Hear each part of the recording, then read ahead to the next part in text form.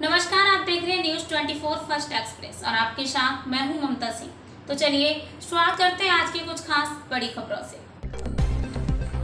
करोड़ों रुपए की ठगी करने वाले अंतर्राज्यीय साइबर ठगों का शाहजहापुर पुलिस ने किया भांडाफोड़ आपको बताते चले कि शाहजहांपुर में बिहार के जाल सांचो सहित पाँच शातिर अपराधी गिरफ़्तार हैं। ये गिरोह ऐसा विभिन्न बैंकों से 40 से ज़्यादा, खातों में एक करोड़ से ज़्यादा की ठगी करने एमली ट्रांजैक्शन इनके पास से 10 एटीएम कार्डों को, दो चेक बुक चार पासबुक, मोबाइल जाली, आधार कार्ड, खातों के विवरण आदि बरामद।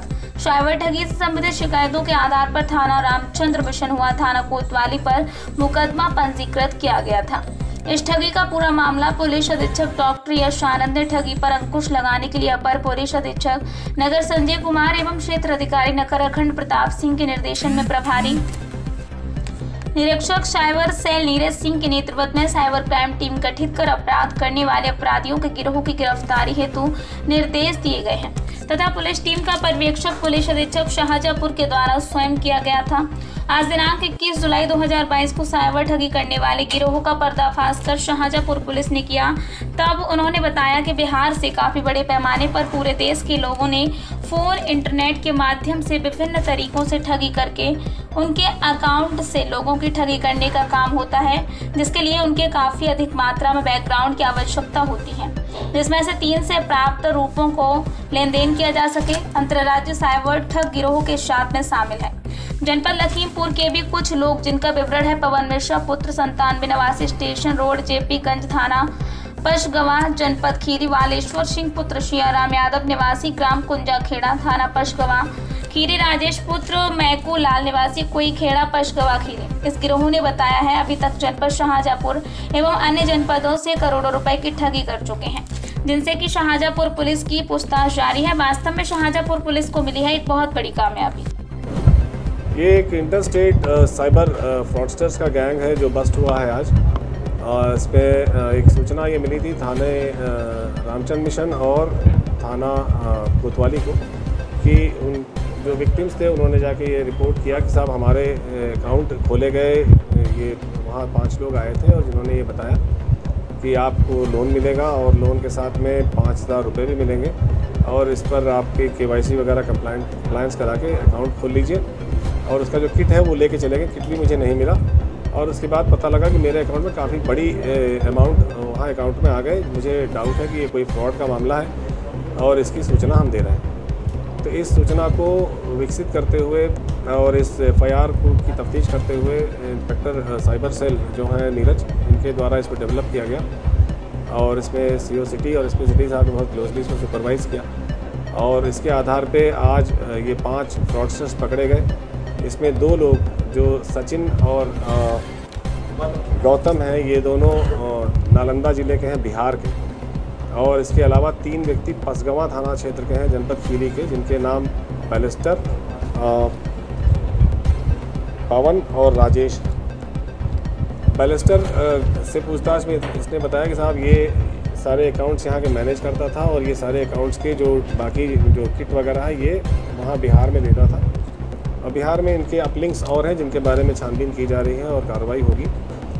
ये इनका मोटर सप्रेंडा ये है कि इस तरह से ये जब अकाउंट खुलवा लेते हैं, इसके बाद फिर उसके सारे किट्स अपने पास रख लेते हैं, इसका एटीएम भी उन्हीं के पास रहता है और वहाँ से वो रिमोटली इनको हैंडल करते हैं। जिनके पैसे ये फ्रॉड के ज़रिए वहाँ से उनके अकाउंट से निकालते हैं, उनको इन अकाउंट्स में डालते हैं सो दैट किसी को उन पर शक ना हो और उसके बाद फिर रिमोटली इस अकाउंट से पैसे विड्रॉ कर लेते हैं।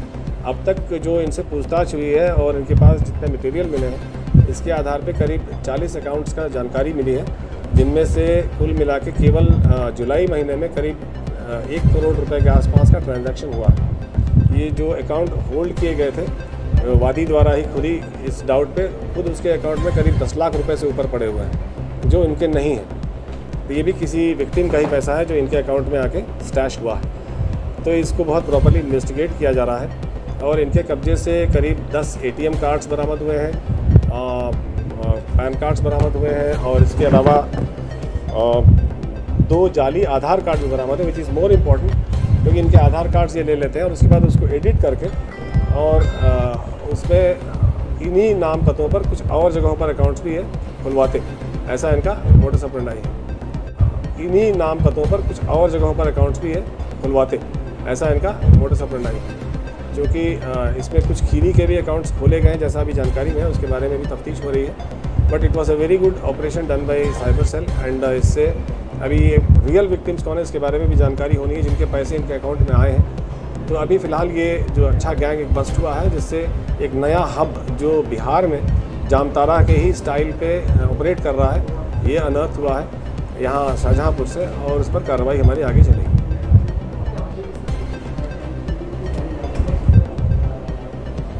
जी। नहीं, मैं तो आपके चैनल के माध्यम से ये सभी को बताना चाहूँगा, जो हमारी सीधी सादी पब्लिक है, उसको ख़ास तौर से बैंक अकाउंट्स लगभग अब तमाम लोगों के पास हो गए, क्योंकि बहुत सारे ऐसे शासन की योजनाएँ जिसमें सीधे उनके अकाउंट में पैसा मिलता है। तो इस कारण से बहुत से गरीब जो व्यक्ति हैं, सीधे साधे व्यक्ति हैं, गाँव के, उनके अकाउंट्स हैं। तो इन्हीं को ये टैप करते हैं। तो कम से कम ये बात उनके दिमाग में रखनी चाहिए। कि अगर कोई आदमी इस तरह से कहता है कि मैं आपको बहुत सस्ते दरों पर लोन दिला दूँगा और कुछ पैसे भी दूँगा तो ये नेचुरल नहीं है। इसको वेरीफाई कर लें एक बार और उसके बाद ही इनके झांसे में या इनकी बातों पर आए। क्योंकि कोई भी व्यक्ति आपके, आपको ज़बरदस्ती लोन दिलाने का प्रयास नहीं करेगा जब तक उसका अपना हित ना हो। वेरीफाई कर लें कि वो बैंक का अधिकृत व्यक्ति है बैंक में जाकर जानकारी कर लें, उसके बाद ही उस पर कोई अमल करें। ये अनावश्यक रूप से विक्टिम हो जाते हैं। और कभी कभी ये मुलजिम की श्रेणी में भी आ सकते हैं। यदि उनके अकाउंट में पैसा पाया जाता है, मान लीजिए कहीं और फ्रॉड हुआ और उनका पैसा इनके अकाउंट में आ गया। इनके जानकारी के बगैर भी या इनके किसी उसमें कोई रोल होने के बगैर भी तो अनावश्यक रूप से ये फंस भी सकते हैं उसमें और अभियुक्त हो सकते हैं। इसलिए इसका ध्यान रखने की आवश्यकता है। वक्त हो गया एक छोटे से ब्रेक का। ब्रेक के बाद फिर से हाजिर होंगे ऐसी कुछ खास बड़ी खबरों के साथ। तब तक के लिए नमस्कार।